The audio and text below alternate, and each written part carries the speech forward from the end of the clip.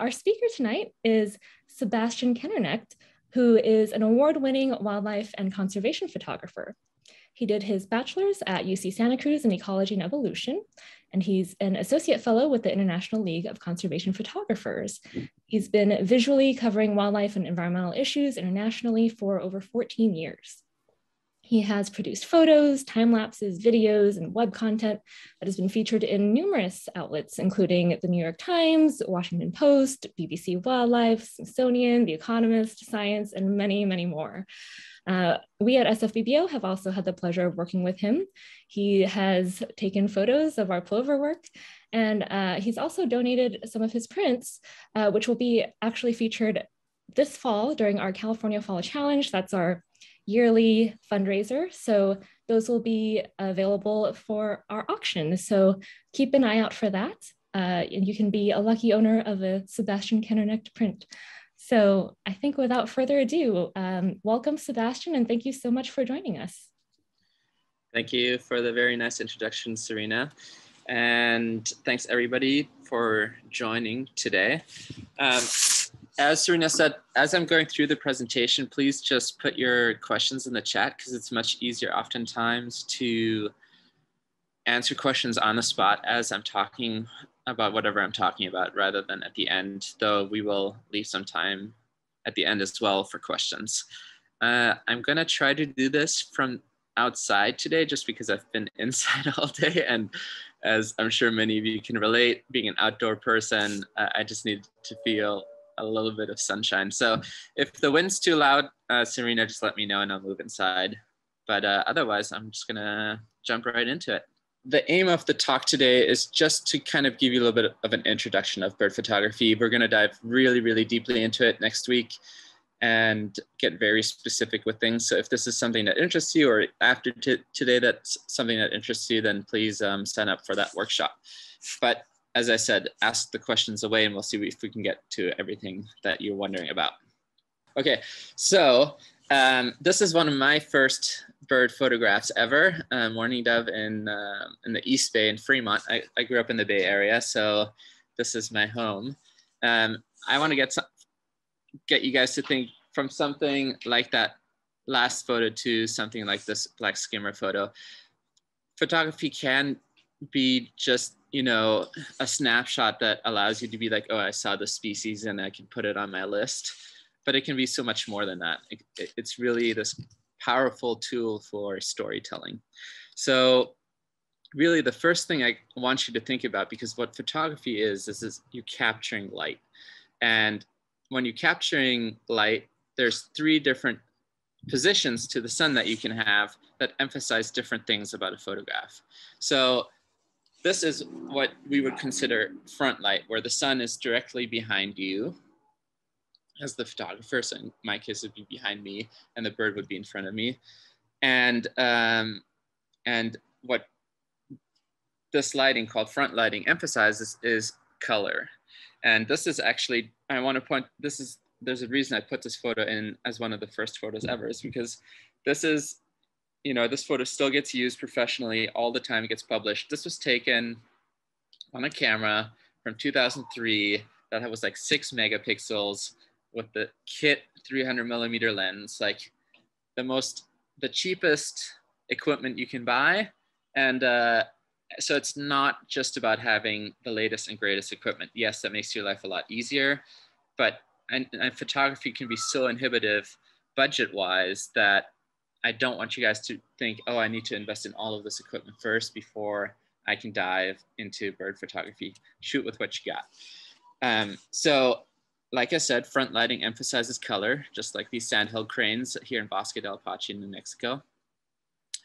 And now when you have the sun at a 90 degree angle to you, and so the sun is a 90 degree angle to you and the bird and your subject, then you emphasize texture. You can really see that here in the rock, as well as the feathers and th throat pouch of this Brandt's cormorant that is in its courting plumage. Just by the way, uh, it's taken in Point Lobos, and uh, it's a great place to go see the birds and get quite be quite close to them in a safe way um, and see their whole courting and nesting and chick rearing behavior. So great local, pretty local spot to check out.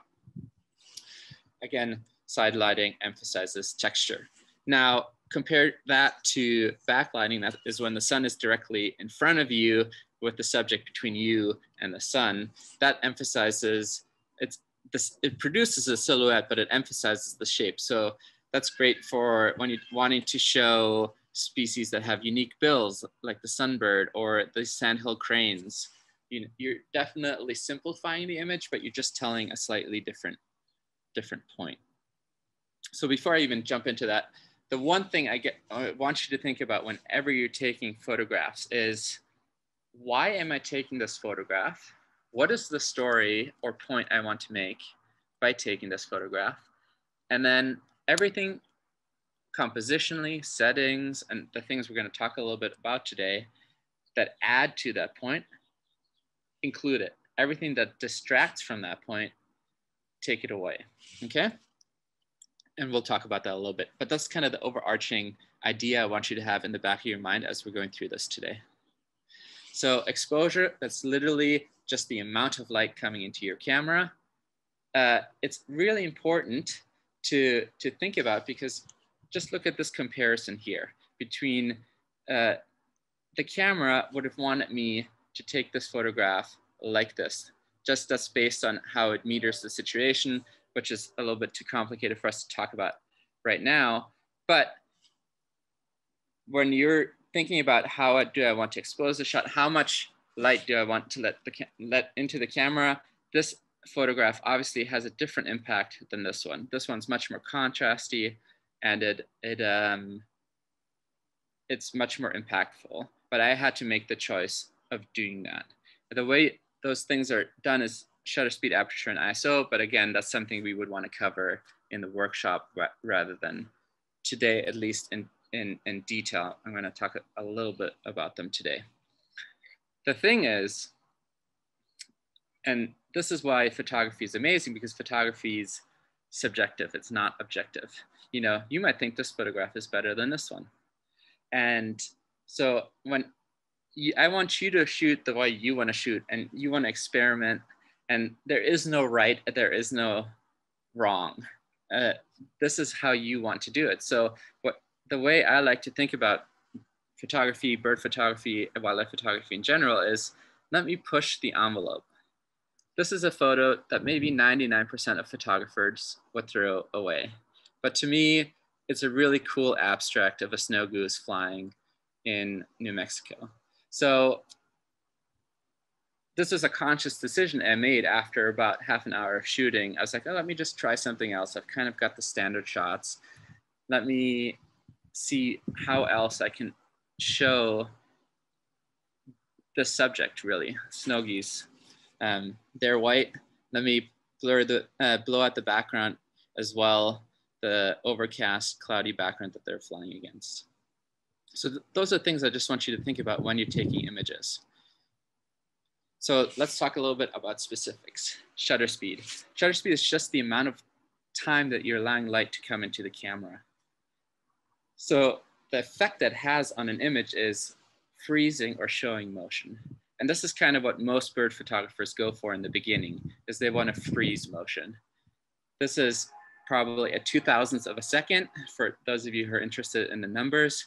This means everything is tack sharp. There's no, there's not enough time for this bird to, uh, for the sandhill crane to fl fly and, and make motion in the image based on the amount of time I'm letting light come into the camera, one two thousandths of a second. So I'm freezing motion here just like this, again, snow goose.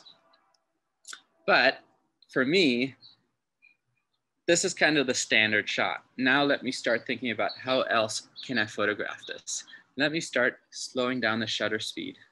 So this is um, probably a 60th of a second, maybe one one hundredth of a second even. These guys, as you all know, have pretty rapid wing beats. But you can see the face is still quite sharp but I'm showing you, the viewer can see, hey, there's motion going on. I can tell it's flying. It's not just a frozen thing that could be dangling from a string in a way, but this bird is definitely moving its body to, to, to fly, which is what we love so much about birds. Serena, you have a question? Yeah, we have a question, I think related to the earlier snow goose photo that you showed, where it was kind of, uh, yeah, that one. Um, the question is, was that post-processed with the raw file or a choice you made in the field? Choice I made in the field. If you guys ever have the chance to go to Bosque del Apache, it, it is definitely overrun uh, by birders, which I have no problem with. I mean, I'm one of them, but uh, there's a reason for that. It's because there's, I think, 40,000 snow geese and 15,000 sandhill cranes there. And when they talk, uh, take off in the morning, it's like thunder going off. It's it's something you do have to experience if you have the if you have the opportunity to. But so for me, again, when I'm shooting, I'll kind of get the safe shot first, this one, and then I start experimenting. My kind of rule about photography is 20, 60, 20. 20% safe shot, 60% start trying more abstract philosophies about photography, and then the last 20 go really, really abstract. Um, so this was a decision I made in the field. I overexposed it after I had already gotten the stuff in the can, as film photographers used to say. Uh, I, I just started trying different things. Some most things don't work. Some things to me worked. And then a couple of follow-up questions. So can you remind us what place was that with all the snow geese? It's called Bosque del Apache, and it's near Albuquerque, New Mexico. And the best time to go is in the winter time. Awesome, thanks. And then uh, can you also repeat that formula again, the 20? Yeah, 20, 60, 20. I'll talk about that more in the workshop, and you'll probably hear that as, a, uh, as an answer today repeatedly. But um, so yeah, 20% kind of your safe shots, 60% take some risks, the last 20% take some extreme risks, which is kind of what I'm getting more towards here, right? So now I'm really slowing down at shutter speed. I'm shooting at a tenth of a second, maybe an eighth, 15th, somewhere around there. And uh, I'm really, you're not getting all the sharpness in the bird, but that's almost not the point anymore, right? Now we're moving towards more, it's almost more like rock art than it is photography but you're getting, you're understanding what's happening still. So the sky is the limit, um, pardon the pun with birds, but uh, you're, you're, limit, you're limitless in terms of the possibilities. Just like this shot, this is a mixed flock of, of shorebirds. Um, actually, while I was with SS, SFBBO, I shot this. And again, you're, I'm not showing you what species there are, but that's not really the point here we've all seen that view, right? The flock of the birds flying over the water as, you know, maybe a dog scared them off or something scared them off.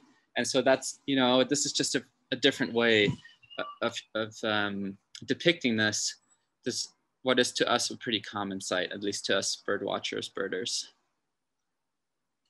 Now, I told you earlier, um, think about the point you're trying to make and then simplify it. So this is a shot of a brown pelican, you know, fast shutter speed, um, nice and crisp, flying over the Pacific Ocean. But to me, it was more about the bird flying over the ocean than really seeing all the details. You can see my mouse, right? Serena, if you can give me a nod, cool. Um, you can see this kelp here. And it's not super distracting, but let's say I just wanted to simplify it even more. What I can do is what's called panning which is a technique where you move at the same exact speed as your subject. And you see this a lot in car advertisements where the car is perfectly sharp. The background has these has the blurry streaks that shows you, oh, this car is going fast. Well, Pelicans can do it better in my opinion. Um, but you can also see how it slows down uh, and simplifies the background. You don't see any of the texture in the waves that was actually there, right? Because there's you're letting light come in for a longer period of time, a slow shutter speed. Again, this is about an, a tenth of a second, a 15th of a second, that this becomes non-detailed. Um, and you can really just focus on the bird and you realize that it's flying over because you can get to see the motion here in the background. Uh, again, here Andean condor, same technique, sharp photo, pan photo. Bird's still perfectly sharp. So this is a technique I would say once you have your sharp photos down, try this and just realize that your keeper rate's going to be one in a thousand. But this is why it's great that we have digital because um, there you're going to have a lot of it's just really hard to keep the camera moving at the same exact speed as the bird. But try it on cars first, try it on people walking. Um, it helps if it's people you know, so they don't get freaked out. Um, but um, yeah, it's a great technique, fun way to, uh, to show the birds in flight. Now, uh, aperture, that's you know just the size of the opening of the, of the lens, but that's not so important. What's really important is aperture controls, how much of the background you get to see. It's called depth of field, how much of the photo is sharp. And so here you can see that this plover sharp, back, uh, the foreground's pretty out of focus, and then the background's really out of focus. That's a small um, f-stop, that's f4, f5.6. Uh, that's a really, really easy way to simplify the photograph. You know, there was a lot of detail in this, uh, in, in the background here in the tidal um, area that this bird was in, but by shooting at this aperture, I'm really just letting you show the bird, see the bird. I'm not showing you what's distracting around it. At the same time, just like the shutter speed, this is kind of the default for bird photography. We can do the opposite and really what's called opening up, which just I mean, closing down, which just means a, a large f-stop, f22, f16, where I get to see more than just this cute little Laysan albatross on Midway Atoll, but I get to see all of its fledgling partners here. They look like a gang of misfits. Um, but you, you, can see how I'm telling two different stories. Here it's, it's you know, one individual, really more about, I'm not really showing you any environment versus this, this is a bird uh, one of many birds ready to, to leave its um, birthing grounds. Now, let's talk about composition a little bit. so this is just how we frame our subject. This is a cool bird, but it's a very boring photograph. And the reason for that is because I placed this cool osprey right in the center of the frame. And there's two, uh, two things to note about photography. I want you guys to all trust me for a second and close your eyes for a few for just one second. Close your eyes. I can't see you, but close them. Now open them. And where did your eye go? It went right to the center of the frame. And it goes to the brightest part of an image. So your eye probably went right here. Now, for those of you on social media, this is kind of the good Instagram test. The way you can think about photography is how do you want to create a photograph that gets people to stop and look at it. Well, or you know when we're scrolling through instagram we're scrolling up we're scrolling up and we just keep flying by all of these photographs and why are, are we not stopping because they're not engaging us and part of that sometimes is because of uh, compositions that aren't interesting so if you're if you're providing the viewer something that they naturally want to do already aka your eye goes to the center of the frame of a photograph naturally or it goes to the brightest part of an image. Here, I'm doing both. I have the brightest part of an image and my subject right in the center. You're gonna look at this image and fly right past it. It's, it's just not a very engaging composition. It's not wrong, it's just not super engaging. So instead, what you generally wanna think about is placing your subject to the side and especially if you can give the subject space to look into. This is a reef heron in Yemen. You can see how it's looking into the tidal area, area that it is wading through.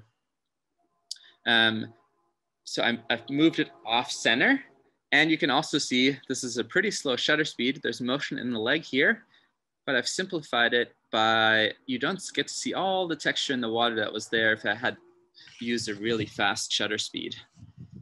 There was a high chance that he was going to be out of focus because I was using a slow shutter speed. But again, 20, 60, 20 rule. After my first 20, you know, it took five frames like this. It was per perfectly sharp. I'm like, okay, that's, I don't need a hundred shots of the same thing. Let me change my settings a little bit. Same thing here, long-billed dowitcher. Um, let it walk into the frame. So here I've placed it at the top of the frame and it's coming down into the frame. I'm giving the viewer the space to see where the bird is walking, waiting to, okay? That's a, and I've moved it, I moved it at least off center from, from here to the top. Serena, you have a question for me? Yeah, so in the, the photo before, two photos before this one. So yeah, this one. Um, what was, uh, what do you, what, what I guess was the slow shutter speed that you used in that case? Uh, the numbers. So it's probably about one tenth of a second. Um, you know, that's something that just comes with time and practice is that move, photographing a swallow versus a pelican versus a red-tailed hawk, they're three different shutter speeds to capture the same thing. They move it, those birds move at different speeds. So freezing one bird I have to, you know, to freeze um, the swallow, I have to use an extremely high shutter speed to freeze it. While a red-tailed hawk that's just circling, I don't have to use as fast of a shutter speed because it's just not going that fast.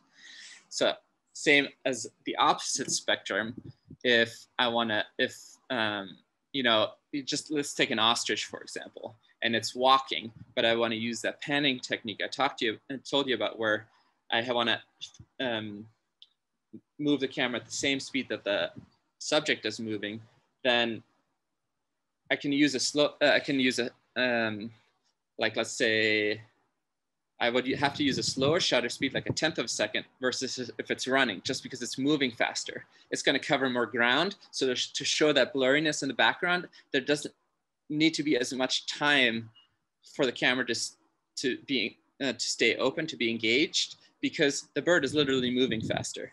So this guy, you know, you guys have seen, it's just like our egrets, this reef heron, like a snow egret slowly walking along the shore. That's all it's doing.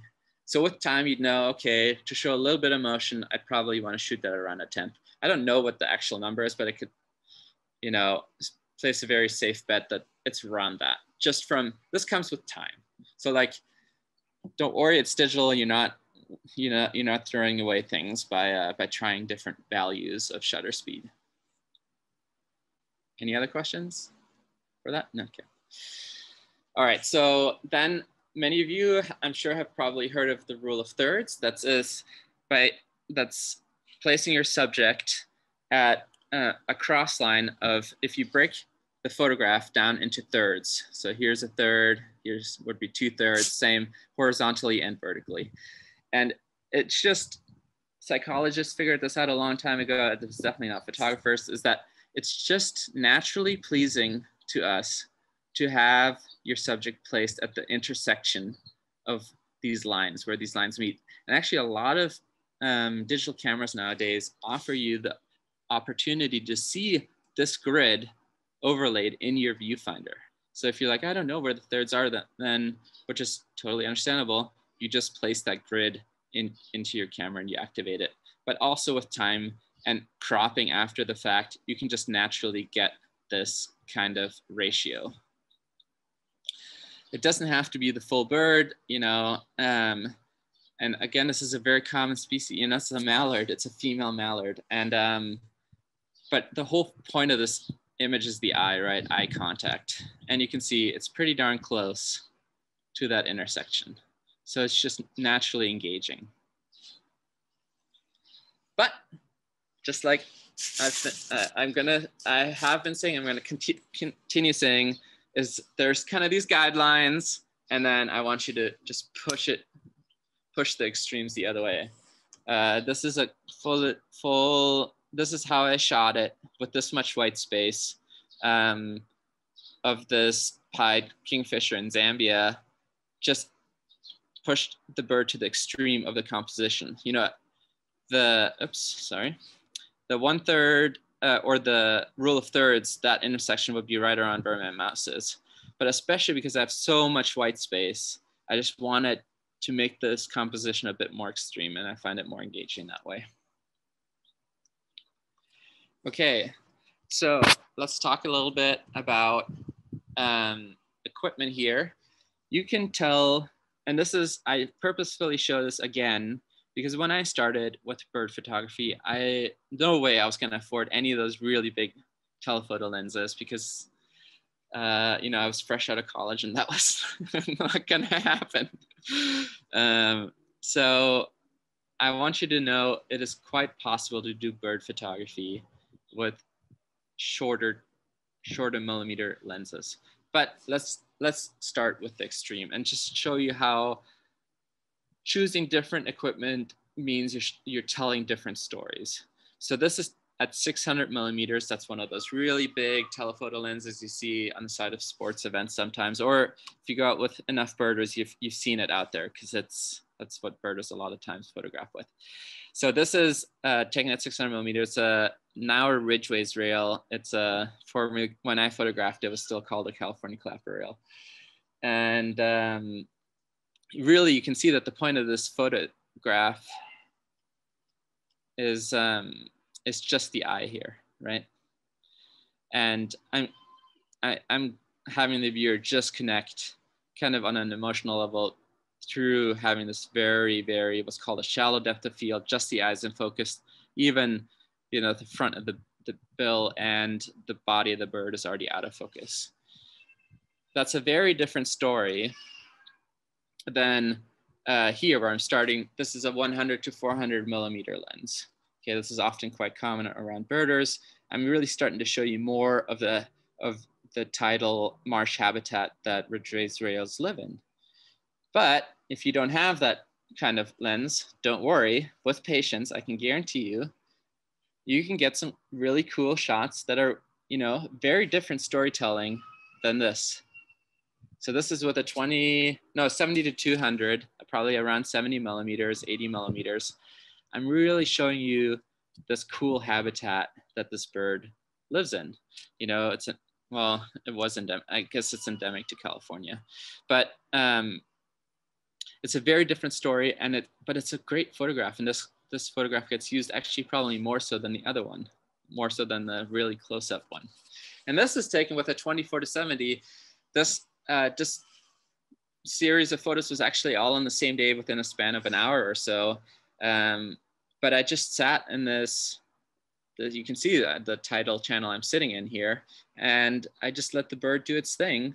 We'll talk about how to approach birds in a little bit, but um, you know, I didn't move and it was comfortable with my presence, but it also allowed me to show this bird in very different contexts via choosing very different lenses. So we went from a big 600 millimeter lens down to a 24 to 70 so if you have a kit lens, an 18 to 55, that's kind of the standard lens that your gear comes with when you um, when you buy any kind of body, um, then then you, this photo would be quite possible. Yeah. Are you always shooting handheld or sometimes tripod? So at this point, I'm almost exclusively shooting handheld just because the technology of the lenses has gotten so much lighter.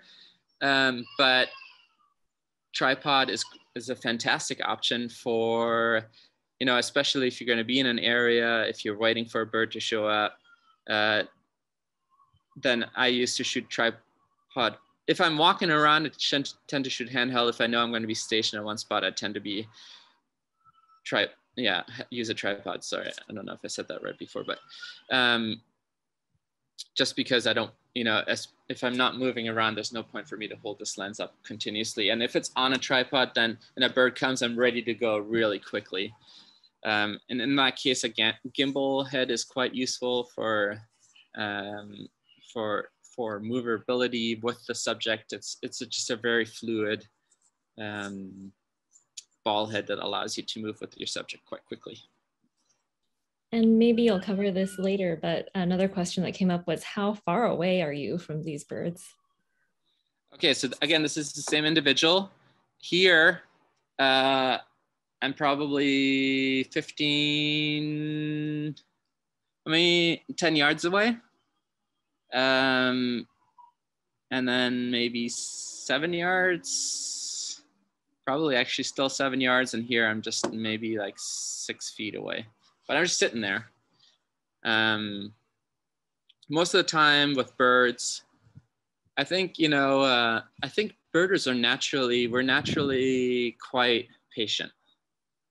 Um, so if you can, if you can sit in a spot for a little while, that that will be your best chance, and that's when you don't need those big lenses, especially. They're helpful. I I own one. I I'm not saying they're not, but um, I just want to emphasize the point that anybody can do this with very accessible equipment or more accessible equipment, I should say.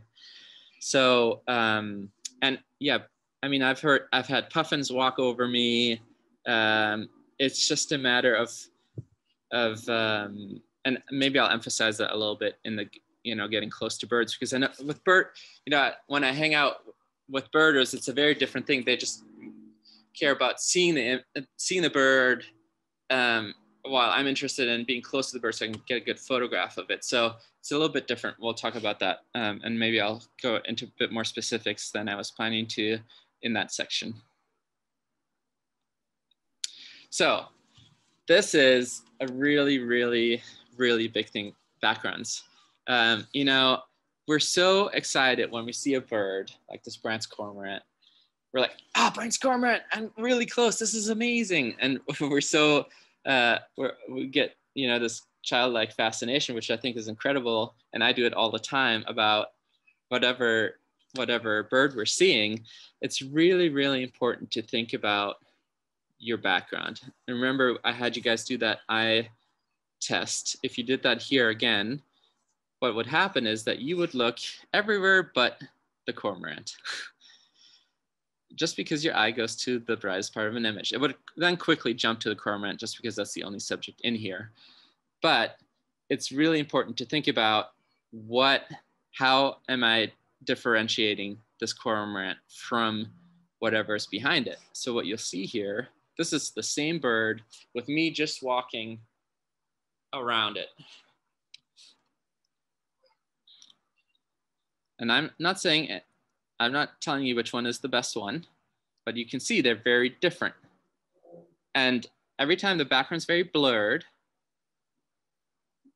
this is probably to me the most complimentary, but um, this is just me moving around the bird. It's just having a different background, creating a little bit different photograph. Snowy egret, yeah. So uh, related to the that the eye, I guess. Um, are you pumping color or a sharpness in, in post processing? For instance, the eye on the cormorant?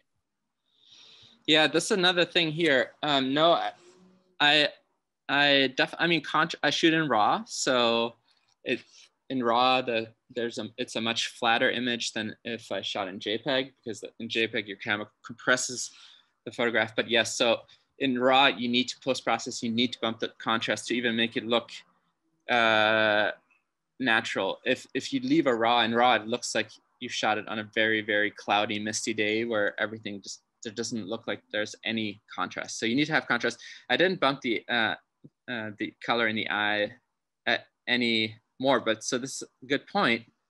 Here I'm shooting a little bit against the light, even though it's overcast. But you see how much duller the light, uh, the eye and the light, the light in the eye is here versus here and you can see I'm on the other side of the bird here. Um, so you can see, you can actually see the, the, the sky up here in the reflection of the eye. So I didn't bump, uh, so I didn't change it at all. Um, it's just, that's a good, actually a really good point about the background can emphasize that here. Here it's kind of in between. Um, and the sharpness here, this is, sorry, uh, this is a bit sharper here than it is in this shot. And that's the autofocus thing that we'll talk about in the workshop too. I hope that was helpful. Okay, so you can see this sequence here. So this no egret kind of blends in and not like I really had a choice, but it's just a good set sequence of images to show you how the background can make a difference on your photograph.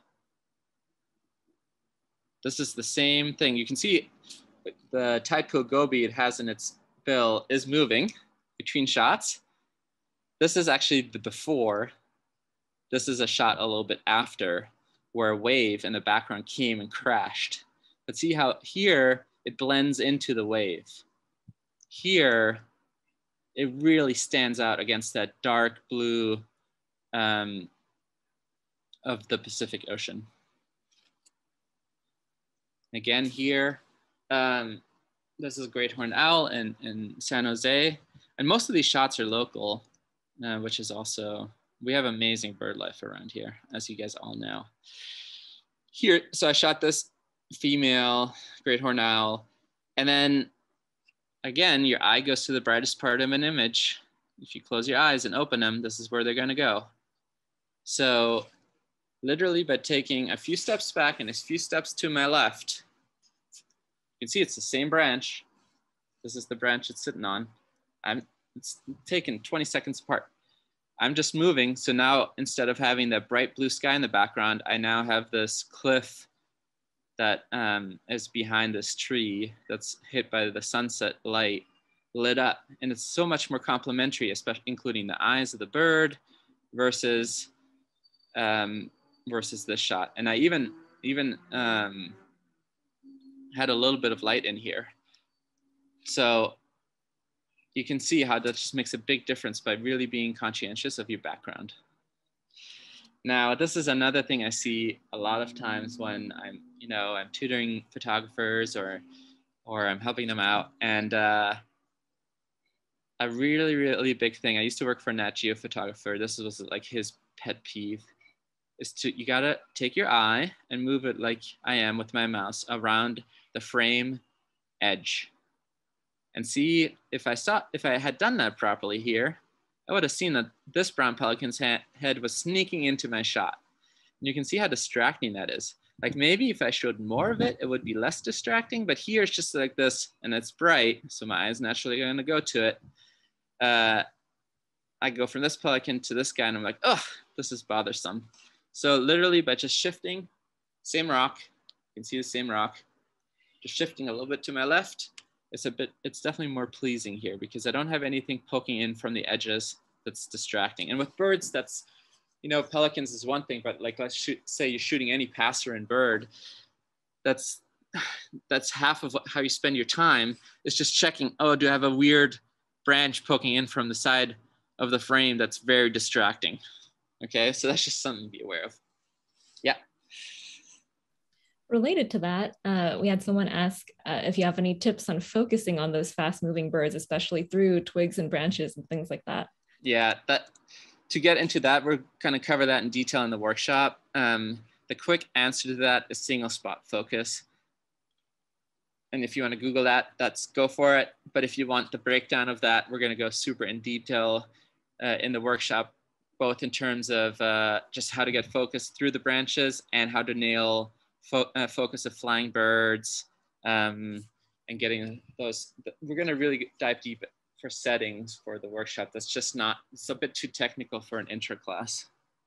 Nice. And then another question was, are you shooting in full manual or aperture or shutter priority? Yeah, um, I shoot in, um, I don't shoot manual. I think that's, I only shoot a manual under extremely specific exposure conditions like nighttime.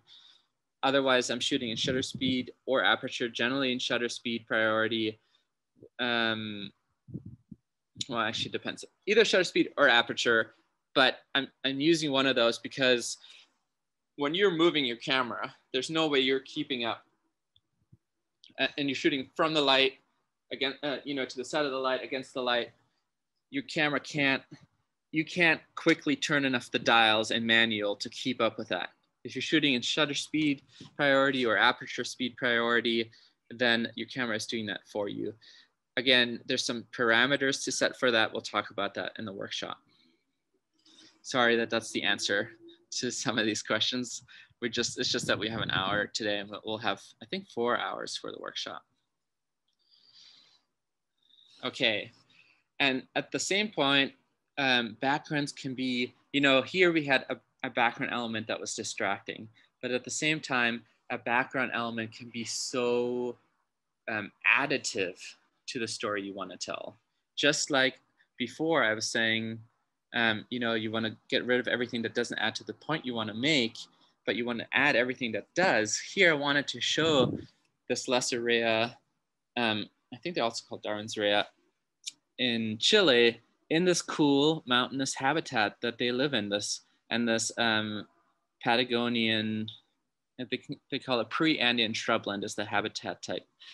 And, you know, I had photos of the bird just if I, if it, I'm gonna draw this imaginary um, frame around it like this. And that's a cool photograph, but this tells, that photograph tells a very different story than me showing you the whole habitat it lives in, right? So, um, and so I had the option, you know, I had a bigger lens option. I actually took my smaller lens because I wanted to show more of the landscape. And so, um, you know, that was a very conscientious choice about showing this background that it lives uh, to then emphasize the habitat that it lives in. Same like this. Uh, sorry, my, sorry guys, I'm at my sister's house and my uh, nephew just came home. I know.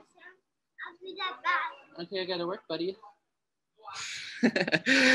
um, uh, so the the sun here, you know, it, it's it's an it's a background element that adds to the composition of the photograph. Um, if if I didn't have the sun here, sure, it'd be a nice silhouette, but this is an added element. It was a very conscious one. These these skimmers were flying the whole time in this particular pattern, and that's one thing about wildlife photography. If you haven't done a bunch of it, you're all interested in birds.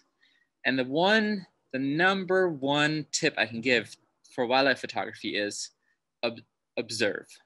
And all of you guys do that already anyways, is observe, observe, observe, because what you'll start noticing is patterns.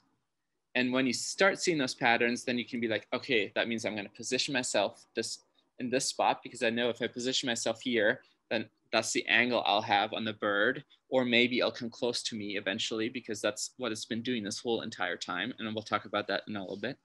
Um, but yeah, so um, I noticed that these skimmers were flying in front of the sun continuously. So I was like, huh, I'd love to get that shot. I moved the boat a little bit and then was able to get the shot after a few minutes. You're getting a lot of skimmers here, but same here. These two skimmers in a way are a background element, but it's a nice compositional flow you can see here between the three birds, right? Kind of leads your eye to the back, coming back to the front, rather than if I just had this front skimmer, it'd be a nice photograph, but it would just be against blue sky and it wouldn't be as engaging as having these other two birds in the frame. Okay, so how to get close to birds. Most of you probably already know this, but let's talk about it in terms of wildlife, uh, in terms of photography in general. There's the obvious way, um, which is like go full camo and and uh, creep your neighbors out. Um, this is me wearing a, a ghillie suit and camouflage netting over a camera to get um, photographs of wildlife in Uganda, like this crested hornbill. Um, so that's one way. I, I, don't think that's the most realistic way, to be honest. So I'm just gonna kind of skip over that. This is a technique that a lot of bird photographers use. This is these are blinds. Uh, these specifically are tra tragopan blinds which are a great way because you can even see there's some like uh, low level blinds if you want to get down to the eye level of the bird. And it's a great way of um, hiding your silhouette. This is a great strategy if you are extremely patient and are okay seeing the world in only like an inch hole at a time. I don't like blind work myself, to be honest. It just, I, I'm sitting lying in here and I'm wondering what's going on behind me here. so uh, I think I just have too much FOMO. Um, but it, it is a great way of getting certain, especially sensitive situations like this. I'm in a blind, a custom built blind that's next to an American kestrel um, nest that's on the other side of the barn door. So the male here is coming into the, you can see the little nest hole. So it's obviously human made. But this way, I'm only like, you know, nine feet away from it. I'm not causing disturbance to the bird by, uh, by one being quiet uh, inside the blind and not being seen by the bird. This is another great way. This is not, this is a photo by Ron Dudley. Um, you can kind of hide yourself, hide your silhouette by just shooting out of your car. Um, one thing you can do here, you can see this, this is like a little um, pool noodle styrofoam piece that kind of just one there's two tips. One, turn your engine off if you can, uh, but this would even help with minimizing the vibration that will come through the car into your lens when you're photographing the birds. Um, but generally, I would say turn off your engine. But also just from you scratching your car and, and, and the lens and stuff, it's a nice little, some people use bean bags, sweater, you know, you don't have to go fancy. This is a shot I got in Northern California in Klamath in the wintertime, just shooting out of my car. But most of the time, this is how I photograph wildlife. I'm just walking around. Um, again, not necessarily with such a big lens. I just didn't have any photos of myself with a smaller lens. So I had to pick this one. But it comes down to exactly what I was saying earlier is understanding behavior. So we're, I think as birders, we're pretty good at getting obsessed with something. So just like uh, we get obsessed with seeing a certain bird, let's get obsessed with no, understanding the behavior of a bird. So, you know, trying to get a photograph of a pelican bathing is one thing, but uh, trying to do it in the open ocean is going to be a lot more challenging than knowing, oh, these pelicans keep bathing themselves in these freshwater streams that come into the ocean, if I just hang out here, even maybe before they arrive, they'll I know they'll come because I've seen it day after day after day. And again, we've talked about observing behavior and repetitive behavior and taking advantage of it. That's all I did here. I, I, uh, I used to live in Santa Cruz and I would bike by here and I would see these pelicans bathing in the creek right by the boardwalk. And, uh, and then I was like, well, I know this is going to keep happening. I'm just going to sit there, wait for them to come. I'm not moving. So uh, they know I'm not providing, you know, being a threat to them. They came and, uh, you know, at first they were further away, but eventually they came close and, and I got, was able to get this photograph here. Same, same thing, same kind of strategy I use, use with shorebirds. We see this with shorebirds all the time where they, they walk down the beach, you know, they're, they're foraging, but they're never just foraging in one area. The flock will generally have, they'll either walk left or right. Overall, it just might be slightly, um, but overall, they're going to keep walking right as they're foraging. So I'm just going to go 50 yards down the beach and wait for them to come walk towards me. I'm not going to move. I'm going to wait. It's going to be really hard in the beginning, to be like, oh, I want to be closer but you got to have patience and that will mean that i eventually they'll come right next to me another thing too is if you see the tide coming in as they're feeding just position yourself where you can tell that the birds aren't getting they're not getting flushed they're not walking away from you so a safe distance sit down and just wait for the tide to come and basically push the birds to you because they're just going to keep being in the in the zone where they're not right in the water Yeah. uh, so how long do you wait typically? Um, I mean, it depends a little bit on the bird uh, and the behavior, but I would say half hour, hour. So for me, it's just like, if I take this one shot, I'll be happy with it rather than, you know, a bunch of scared birds from 50 yards away and then another different species flying away at 50 yards away. So it's about patience. And uh, in uh, the, the previous photo with the pelican bathing, we had a question. How do you freeze the water droplets? Okay, right. So just like we had um, talked, we, I showed you that sandhill crane shot and that first snow goose shot where the, everything's frozen.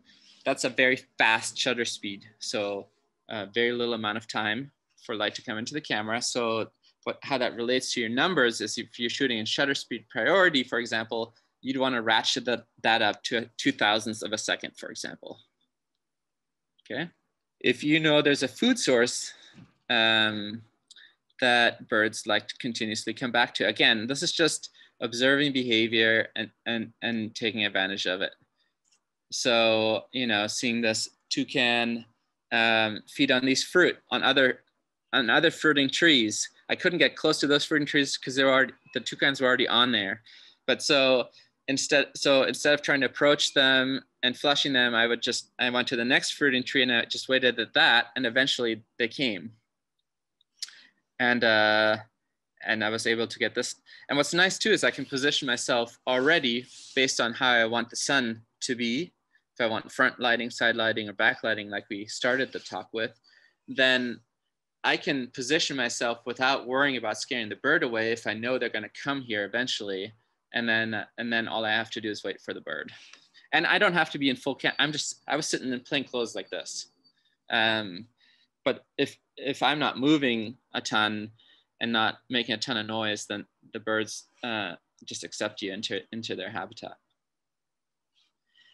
And then I will uh, end the section, I think I'm ending the section this way is uh, Art Wolfe, who's a famous wildlife photographer, he has he once famously said, or I think it's it's pretty poignant, is the easiest place to photograph a duck is in a city pond. Uh, I've noticed this behavior a lot. Like this duck would behave very differently on its migration route um, in an area that gets hunted versus an urban park. So photograph it where it's easiest to photograph. This is in a city pond. There's like 50 people around. This bird is acting a lot more calm there and allows me to approach. I was actually sitting in the water for the shot uh, rather than in an area where I have to try to sneak up on it from like 300 yards out because there's people who shoot it. Okay, and then the last section, I know we're getting uh, close on the six hour mark. I don't want to keep people too late, though, though I'm happy to answer questions, is um, ethics. And so there's just a few things I want to point out just because it's important to me. And I think especially because I'm teaching you guys this, it's really important to talk about. There's certain situations that just have to be approached with extreme sensitivity. I don't generally photograph birds on nests. This was a bird I walked by. Um, but you can photograph birds at nest, but then you definitely want to be on a blind. Um, you know, you'd want to enter that blind before sunrise and generally exit it after sunset. The last thing you want to do is push that bird off of its nest and a whole clutch of, of birds uh, are lost because of your actions. I mean, we love birds, so let's protect them and not be the reason why there's fear of them. Um, playback, you know, there's probably, I don't know about the philosophies of playback and birding. I think in bird photography, in my opinion, I mean, ethics is, it's not black and white. It's, it's a grayscale like everything in life, but this, these are choices you just have to make. I just, I'm just going to tell you what I recommend based on, on, on my um, observations. Playback in photography to me is also kind of a no-no just because, um, you know, you're causing the bird to expend energy to come to you closer to you rather than you just having put in the energy to wait or to understand its behavior to know how to get close to it. Um, so let the bird do its thing and, and don't have it come to you if, if you don't need to do that. So bird, this is a photo about Alexander Prestel. Um, you know, bird feeders, I think based on, and Serena, correct me if I'm wrong, or anybody, you guys know this stuff better than I do. Um, to, in my, what I've read on in primary literature and scientific literature, uh, bird feeders are not a problem for birds. They're, they're an ad. Uh, we're not causing them any issues. So, you know, if you want to shoot birds around bird feeders, you can even set up sticks here so they can land on them and you can get some nice natural portraits of them. That's no problem. Uh, that's to me, that's not a, an issue with ethics. This, on the other hand, is a big one. Um, this is even promoted by some workshop leaders, is these amazing shots of snowy owls, great uh, gray owls, boreal owls. The way this photo is derived is somebody buys a pet mouse in a pet store that's alive, puts it on the snow, and then and then um, the snowy owl gets it.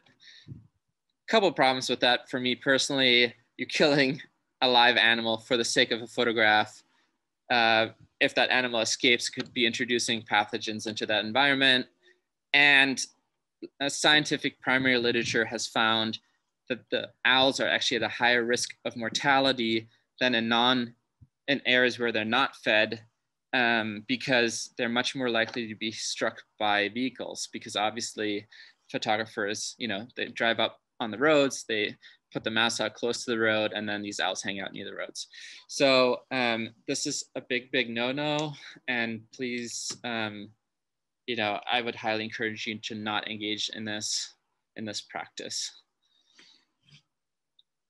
but to end on a nice note, here's a beautiful, colorful photo of a rainbow lorikeet from Australia. Awesome, thank you. Well, we do have a few more questions if you have a few more minutes to stay on. Great. So one of them that came in was uh, regarding the workshop. Will you be speaking about advantages of shooting in RAW versus JPEG? Um, we can definitely address that. Um, I, I don't have a special section for it, but um, but I can definitely address it. I can even show an example of a JPEG versus RAW and why there's advantage to shoot in RAW. Awesome. And then I think one of your photos that was towards the end, um, I think with uh, the person with the, I think when you were talking about playback, uh, it might have been uh, that. Yeah. Um, is that in the Presidio? Lobos Creek with GGNRA? Yeah, that's uh, that's David Luther. He's uh, studying white crown sparrows. This was uh, this was actually an assignment for Bay Nature. Uh, I don't know if any of you guys are more serious about this, but Bay Nature is a great resource, local resource. They need photographs. They pay for photographs. They even pay for assignment work.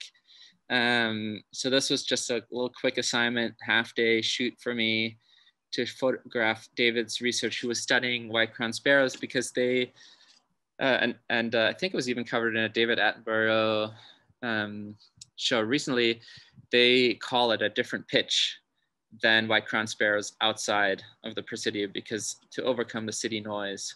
Um, so that's what he was studying there. Nice. And then uh, another question related to ethics was what about use of flash. What is uh, your opinion on that? Right. Um, depends on the species, depends on the situation, you know, if it's night versus daytime. Um, yeah, I can give you my opinion. Well, yeah, it just really depends on the on this. I don't tend to use flash for nocturnal species. Um, if I am, then I'm don't have it on my camera. I have it way off on the way off the camera, so it's not directly shining at the bird. It's coming from an angle, and so it's not hitting them directly in the face. But I mean, this is this is the hard part about ethics. It's you know, again, it's not super straightforward. It's it's a decision that you have to be comfortable with, and all I can say is I recommend you talk to experts. Um, that's what I do. I talk to the biologists, and I'm, whenever I'm photographing a certain species, and if I'm not sure, I just don't do it. But if if my assignment is to photograph, I don't know, uh, an owl species, and they're nocturnal, and I need to get photos of them at night, then I'll talk to a biologist, be like, all right, what are my possibilities here, and what do you think is safe? That's I kind of, you know, seek seek information from people who who know more. Thanks, that's really helpful. And then uh, the next question is, do lens wraps work? Wraps? So is that camouflage wraps? I'm assuming that's that's the only kind of wrap I know. Um, I mean, you know, it never hurts to camouflage anything. Um, so I, um, I'd also I used to have my lens with camouflage, like it's um, neoprene is the fabric, and um, it also helps if you're shooting a, a uh, with a darker lens, like a black lens, it absorbs the the sun rays. The heat from the sun rays can affect the the sharpness of the lens. So by using camouflage wrapping there, you can uh, minimize that a little bit. It also just protects your lens. The only problem I have with is they're ninety dollars, and I realize that's ridiculous because those lenses are like anywhere between a thousand and thirteen thousand dollars. So it's like, how are you complaining about ninety dollars? But it just seems ridiculous. And maybe that's just me being frivolous. so I've made my own. If you're good with a sewing machine, you can do that. Cool. And then uh, we have some more questions related to equipment. So do you have any recommendations for a good starter camera for a birder looking to upgrade from a phone camera? From a phone camera. Okay. So I think the best way I can do, break this question down is maybe by budget. So if you want to spend a thousand dollars or less, then just buy the Intra Canon, the Intra Nikon with a 75 to 300 millimeter lens. Okay. Um, if, if if you if you think okay this is something you know like i love birds i, I definitely want to get some better photos of them then it, and your budget basically up to $2000 would be get a used camera on ebay or craigslist or whatever you feel facebook marketplace and get a new 100 to 400 millimeter lens. At that point you had 400 millimeters. It's a great lens. I mean the quality is it's super great. It's professional. You don't you can't get better quality with that zoom range and by using a, a uh, by buying a used body you are saving yourself a lot of money um, by um, by not having the latest and greatest model.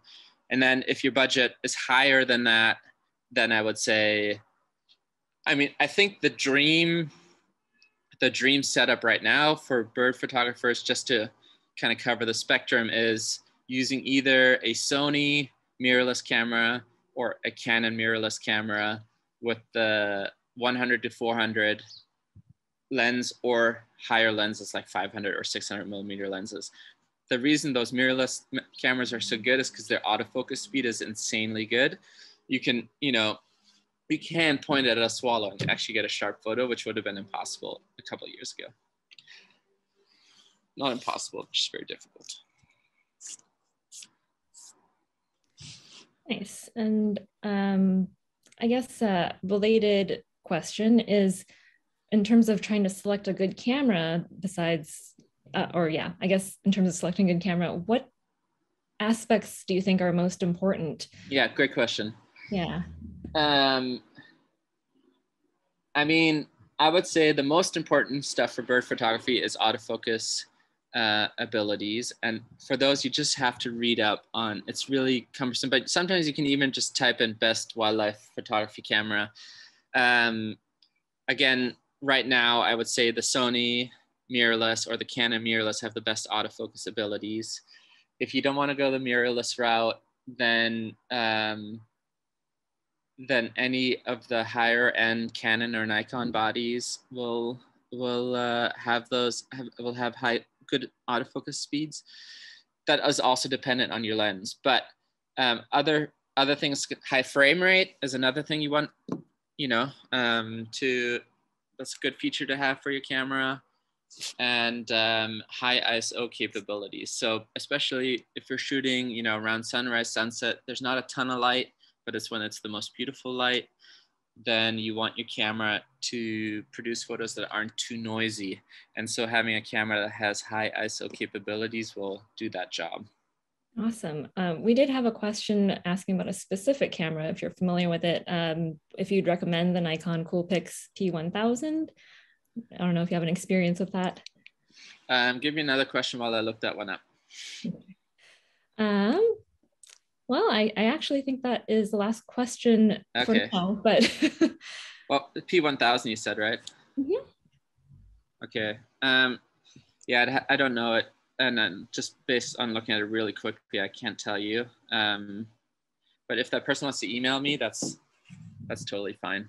Um, you can give them, you can just put my email in the chat too. Okay, awesome. Um, oh, and then a follow-up question was, uh, if you have recommendations for sensor size? Um, no, I mean, yeah, I understand these.